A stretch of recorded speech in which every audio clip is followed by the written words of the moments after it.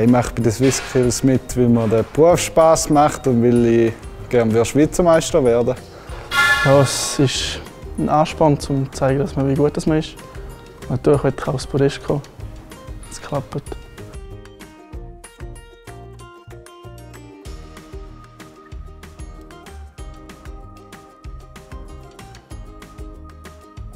Vorbereitet habe ich mich, indem ich gelernt habe in der Firma. Ich durfte lernen, ich Modell bauen. Das Ziel ist natürlich, dass man immer alles dicht anbringt und das gut aussieht und dass Bauherren zufrieden sind.